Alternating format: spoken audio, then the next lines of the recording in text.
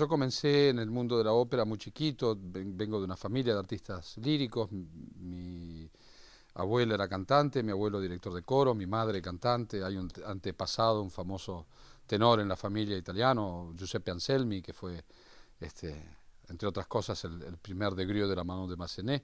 Así que bueno, estuve un poco condenado a este mundo, aunque en algún momento, por supuesto, como, como, como todo joven, este, renegó de estas músicas y, y fue a buscar otras cuestiones como, como el rock y, y, otras, otras músicas, la música popular. Em, comencé de muy chico, estuve en el coro de niños del Teatro Colón, entré al coro de niños del Teatro Colón a los 5 años, a los 22 entré, integré el coro estable, fui cantante solista, canté mucho, nunca en Uruguay, pero canté mucho por muchos lados. Este, y después de eso tuve la, el impulso de, dedicarme a la dirección de escena, hace 20 años que, que, dirijo y hace 5 años, no, 10 años, 10 años que, dejé de cantar, fue eso en el 2005, ya casi 10 años cuando tomé la dirección artística del Teatro Colón. Después de, eso, eh, antes que eso, fundé la, refundé la ópera de cámara del Teatro Colón. Y en los últimos años estuve eh, a cargo de la dirección artística del Teatro Argentino, puesto al que renuncié hace un año. Y ahora, bueno, me dedico a, dirigir óperas por el mundo. Y acabo de, el año pasado, de fundar un un grupo de, teatro musical, una pequeña compañía que se llama Teatro Musical Contemporáneo, con la cual hemos hecho hasta ahora tres espectáculos, estrenamos una ópera argentina, hicimos un espectáculo barroco de, café concert y acabamos de hacer una ópera de cámara con, música de Kurt Weill y Bertolt Brecht, Mahagoni Songspiel. Así que bueno, esa es más o menos, ese es más o menos mi, mi recorrido. He andado por, por, diversos teatros del mundo, cantando, dirigiendo, en Europa, en, por América. Eh, acá estoy. Yo descreo de, de los rótulos, eh, de las cosas que clásicas o no clásicas. Nosotros estamos siendo Carmen. Nosotros estamos contando esta historia y la estamos contando eh, de nuestra manera, como, como, como, como todo intérprete. Todo intérprete eh, tiene, la obligación de extraer de, la partitura esta historia, ¿no? la historia, um, porque eso no está en ningún lado, está puesto ahí. Yo eh, soy un director de escena bastante tradicional en este sentido. yo trabajo con la música y trabajo a partir de la música y a partir de la historia. Yo creo que es importante contar la historia, pero bueno, hay cosas que se pueden contar como hace 100 o 200 años y hay cosas que no se pueden contar como hace 100 o 200 años. Pues, en un principio esta producción de Carmen quiere devolverle a, la obra el espíritu original que tuvo la obra cuando se estrenó. Porque a veces este, hablar de eh, versión original o tradicional, hay una confusión con eso. Parece ser que la cuestión de la fidelidad a la obra pasa a ser por cómo la gente está vestida. Y eso, o sea, no, tiene nada que ver con eso. Hace ciento y pico de años, cuando este, se estrenó Carmen en, la Ópera Cómica de París, eh, era, era una obra que tenía unas características, que después fueron modificadas. Esas características son que, en principio, Carmen era una ópera cómic. ¿Qué quiere decir ópera cómic? Ópera cómic no quiere decir que es una ópera graciosa, que tiene chistes o que es cómica. Ópera cómic es eh, una obra que intercala textos hablados con música, con canciones. Hay muchas, este, esta forma teatral musical eh, se, utilizó en muchos lugares del mundo y se llamó de, distintas maneras. En Alemania se llamaba Singspiel, como la flauta mágica, este, Fidelio, ¿no? En, en, Francia se llamó ópera cómic, en España se llamó zarzuela. Ahora Carmen no es una zarzuela, porque no es, una, no es española, es francesa, no tiene nada de español Carmen. La ambientación quizá, este, pero no es música española, el compositor no era español, ni siquiera habían, no hablaban español, ni siquiera habían conocido España. Entonces, eh, la idea de esta Carmen es devolverle ese espíritu que es más, cercano al, musical, ¿eh? al musical que, que, a la ópera eh, como, después se conoció, porque después hubo una segunda versión, no sé si ustedes saben, Carmen fue un estrepitoso fracaso cuando se estrenó. Eh, y después hubo una segunda versión después de la muerte de Bizet. Tal fracaso fue que Bizet se murió de depresión, claramente. Se dejó morir. Es tremenda esa historia porque eh, Bizet, deprimido y muy enfermo de, de, una enfermedad respiratoria, se hacía baños en el Sena. Baños desnudos en el Sena, imagínense, el Sena es un río frío, París es una ciudad fría, el tipo se iba a bañar y claro, se murió. La idea era devolverle ese, ese espíritu de musical y, ese espíritu original de, esta mezcla de texto hablado con, canciones. ¿no? Y por otro lado, la responsabilidad de contar esta historia de una manera lógica, pero responsable. Carmen es la historia, generalmente se cuenta esta historia de una mujer que es asesinada por un hombre y que finalmente uno termina justificando ese asesinato por, por, la figura de esta mujer fatal, de la femme fatal, que es una figura muy emblemática, sobre todo del periodo romántico. ¿no?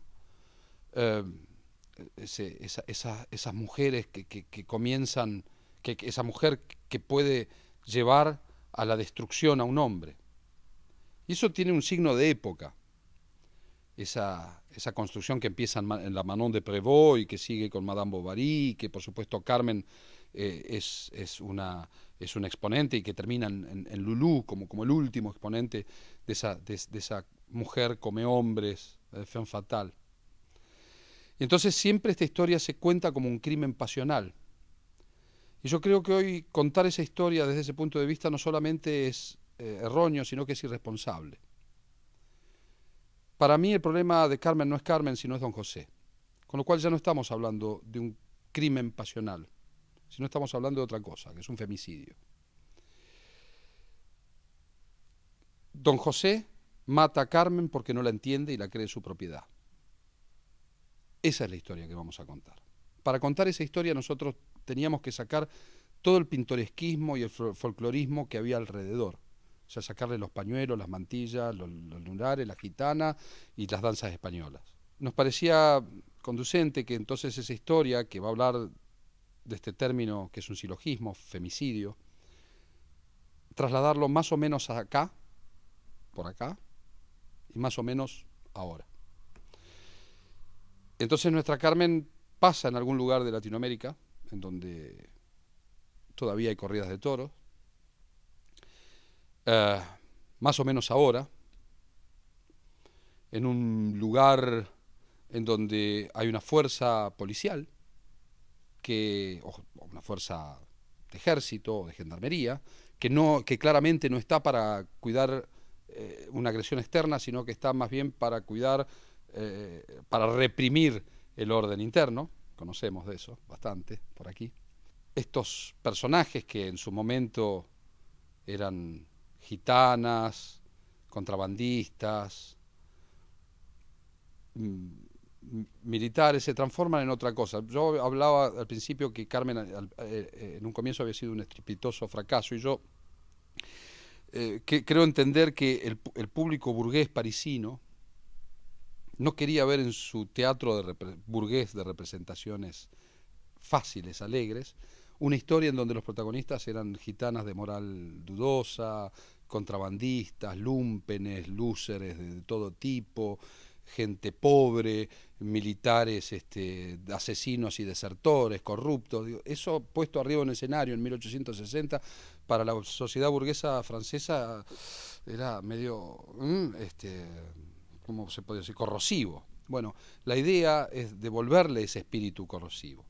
Por eso yo descreo de estas cuestiones que em, el original sea respetar al autor. primero yo que en el arte creo que no se puede hablar de respeto, se respetan otras cosas, a la madre, a la bandera, a la esposa, no sé. Eso, eso, en el arte justamente hay que faltar el respeto, porque este, el arte significa comunicar y movilizar. Nosotros, los artistas, no, no podemos modificar realidades. No, hacemos periodismo, ni eh, hacemos leyes, pero sí podemos poner acentos y que nuestro arte, lo que nosotros hacemos, además de, hacerle pasar un buen momento a la gente, un bonito momento, les deje algo, los deje pensando. Y en este sentido creo en esa responsabilidad y por eso esta decisión.